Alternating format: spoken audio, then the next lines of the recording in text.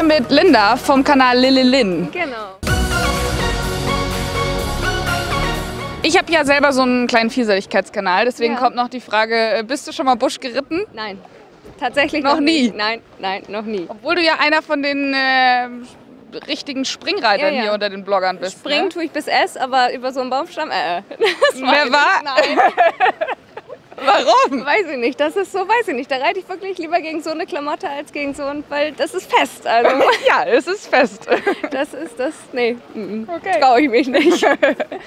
Wer bist du?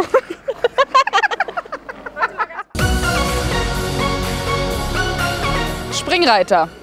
Ja, Jetzt kommt versuch's. meine Buschfrage hinterher. Ja. Bist du schon mal Busch geritten? Ich bin, als ich äh, eine ganze Ecke jünger war und nicht so viel nachgedacht habe, bin ich viele Jagden geritten. Ich hatte vorher mit meinem ersten Pony hier, da war das, ich habe in Dänemark gewohnt zu der Zeit und da sind Jagden eigentlich so vom Prestige her ähnlich wie Turniere. Und da bin ich dann zehnjährig meine ersten Jagden geritten mit meinem völlig durchgedrehten Pony, was da mit mir durch die, durch die Pampa geheizt ist und die Sprünge alle mitgenommen hat. Ähm, die letzte Jagd bin ich, glaube ich, 2003 geritten. Schon ein bisschen Schon her. Ein bisschen her. ähm, und seitdem mh, nicht mehr wirklich, weil ich aber auch ehrlich gesagt nicht die Pferde dafür hatte. Ich habe eben meine eine Stute Wonne, die ist Tollpatschigkeit, so. Gibst du das? Ist auch nicht versucht. Nee, aber das ist auch wirklich eher so zu ihrem Wohl, weil wenn du sie siehst, die ist, das ist so das Pferd, was gerne gegen Türen läuft, was gerne irgendwas umschmeißt, so. Und da habe ich halt gedacht, naja, so ein Baumstumpf, der gibt halt nicht zwangsläufig nach. so, und dann hatte ich halt Cesarion, der hat Angst vor Wasser, grundsätzlich, der sieht eine Pfütze und dreht völlig durch, also Auch kein gutes nicht Omen. unbedingt. Dann hatte ich noch Ziva, die ist völlig unerschrocken, aber das ist Soll das ja eigentlich erst Springpferd sein, das ne? ist das Problem. Die ist unerschrocken. das ist so, wo ich wahrscheinlich sagen würde, Mäuschen, wir gucken uns das Wasser an und sie ist schon längst drin. Ja.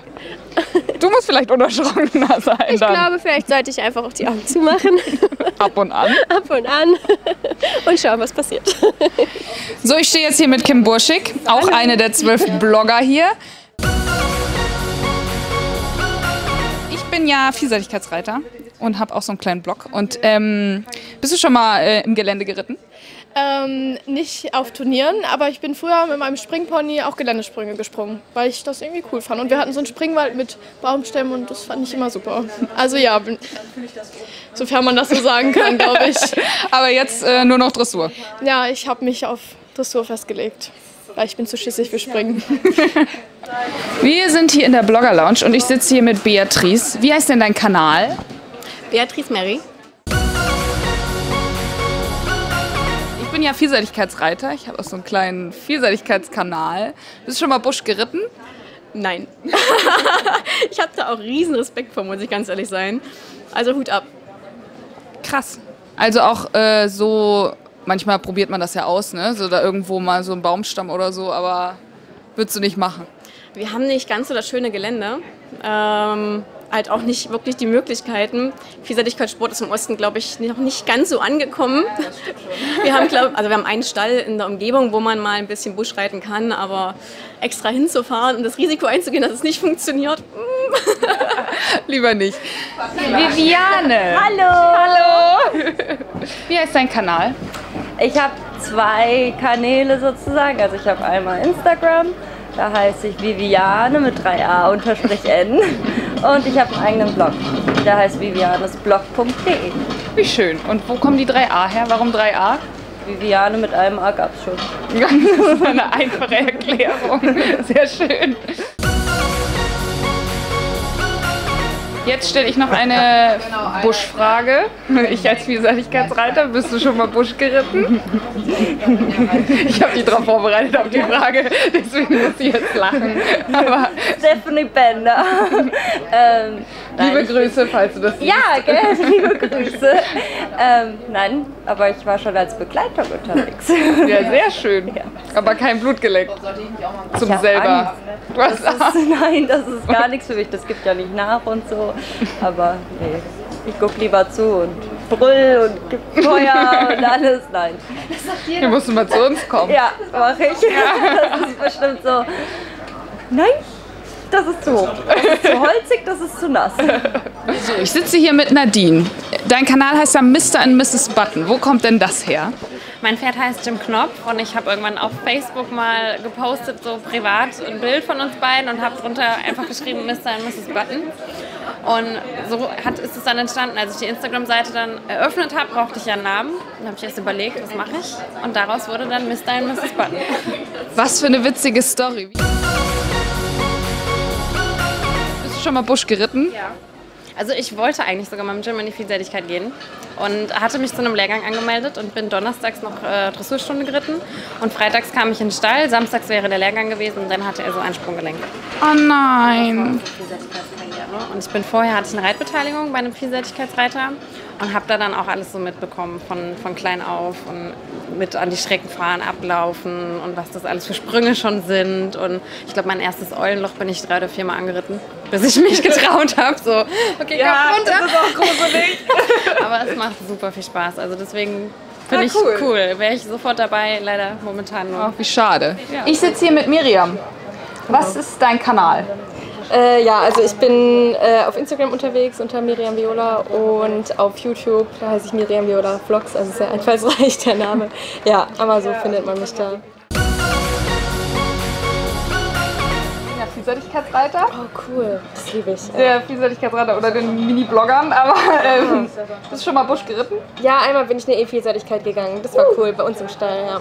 Wir haben auch so eine kleine Geländestrecke, war ich sogar platziert, erstaunlicherweise. Ja, cool. Aber, ja. Muss man ausbauen. Ja, bloß mein Pferd ist so ein bisschen Schisser und es ist dann, ja, E geht dann noch, aber ich glaube A wird sie dann auch nicht mehr machen. Besonders wir haben so, bei uns beim A-Gelände ist so ein riesengroßer Baumstamm drin mit so einem riesengroßen Graben drunter. Der ist echt, also ich finde den total gruselig, du wahrscheinlich nicht, aber ja. Aber das E-Gelände hat mega Spaß gemacht, also es war echt cool. Ja. So, Eva, willkommen in meiner kleinen äh, Ecke, die ich hier umgebaut habe, in der Blogger-Lounge. Bist du schon mal Vielseitigkeit geritten? Tatsächlich bin ich das. Ja? Ähm, als Teenie bin ich sogar, was heißt erfolgreich, ähm, EA-Niveau mit meinem Pony damals, durch die Vielseitigkeit, ähm, bis dann irgendwann ein schwerer Sturz kam und seitdem habe ich echt Schiss. Okay. Also festes Hindernis, so was nicht höher als ein Galoppsprung ist, nehme ich im Gelände noch mit, aber darüber hinaus also nicht mehr. Und mir rutscht das Herz in die Hose und ich denke mir auch, das muss ich mir ja nicht antun. Nö, Für mich nö. geht's ja um nichts. Genau. Carina, wie heißt dein Kanal? Also, meine Instagram-Seite heißt carina-lange. Mein YouTube-Kanal Foxy and Karre, ganz viele verstehen das mal falsch. Das ist sehr englisch, Foxy and Care, denken viele, aber nein. Foxy und, also and Karre, das sind unsere Spitznamen.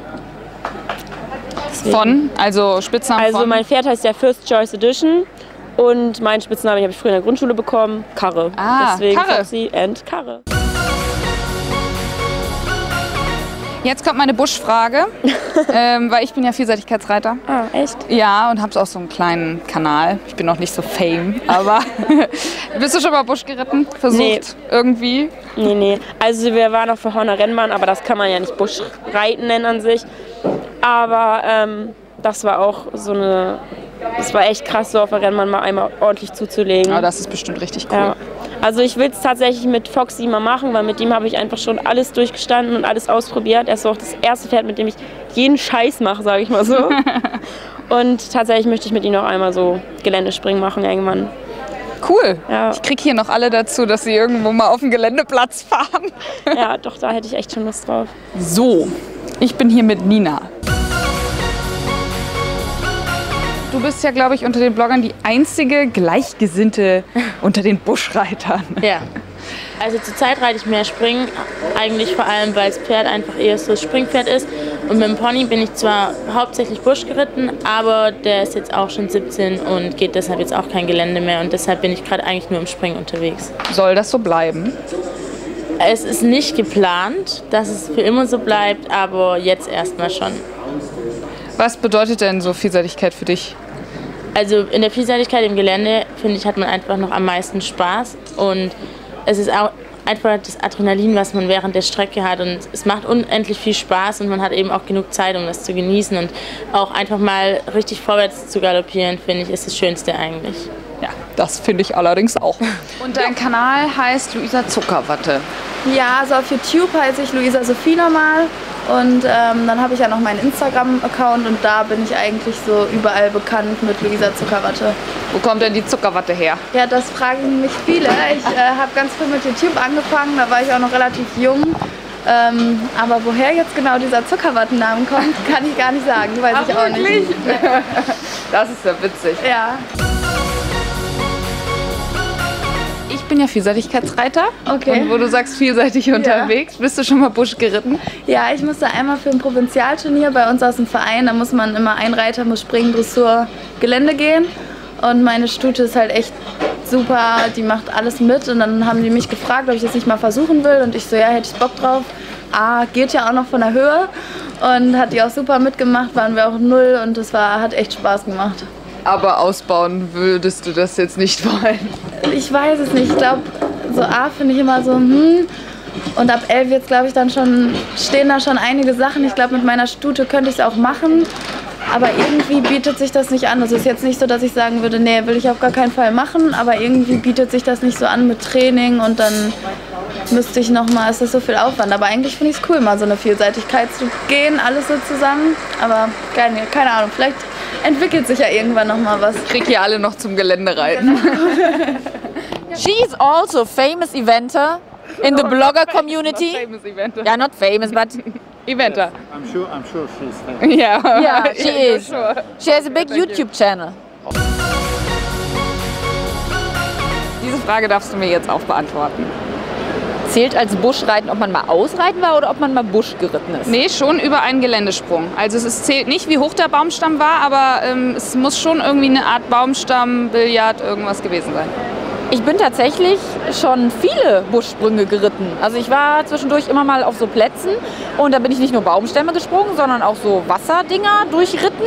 Und ganz früher, da in der Reitschule, wo ich war, da gab es halt so einen riesen Platz und die hatten draußen so eine komplette Geländestrecke um die Wiesen. Und da bin ich schon drüber. Und einmal hatte ich so ein junges Pferd und dann dachte ich mir, das kann ja schon. Der wollte dann aber da drüber galoppieren. Also er wollte nicht springen, der wollte da hochlaufen. Ist aber gut gegangen. Aber ich bin tatsächlich schon einiges gesprungen. Ich finde das auch immer schön. Ich habe das Gefühl, den Pferden macht es mehr Spaß als über Stangen, die runterfallen können. Da zucken die so ein bisschen mehr und dann. Aber du würdest das jetzt nicht anfangen. So. Ich hätte da schon Bock drauf. Also mit Wölbchen hatte ich immer Sorge, weil die Füße halt ihr wehgetan haben. Also ich glaube, Wölbchen wäre das perfekte Buschpferd gewesen, weil die ist gut Dressur gelaufen, die ist gut gesprungen und die hatte immer Herz. Ja. Aber ihre Füße waren halt immer so ein bisschen empfindlich und das ist halt schlecht für ein Buschpferd, ne? Ja. Aber Kanto ist, glaube ich, so, der würde, das ist egal, dem kannst du auch so einen Obstwagen hinstellen, der springt da drüber. Ja, immer Annika, über ich würde sagen, oder? dann, äh, ja, es gibt Obstwagen bei uns, über die wir springen. Ja. ja gibt es. Das finde ich super. Dann würde ich sagen, ähm, gib dir mal Mühe. Ja, kann ich mal irgendwo hinkommen? Man, wenn man so eine Geländestrecke dann hinter sich hat, ist auch echt so ein Glücksgefühl dann. Das So, das hat man zusammen geschafft und ja. Also ich nehme mir jetzt vor, dass Kanto und ich demnächst mal ein Geländehindernis nehmen werden, in irgendeiner Form. Am liebsten Wasser, so plitsch, So. platsch, Wenn Vollgas. ich dafür verantwortlich bin, meine liebe Freunde da draußen, dann habe ich ja schon alles richtig gemacht, ne? Kriegst du ein Foto? Ja, Как за фуру, за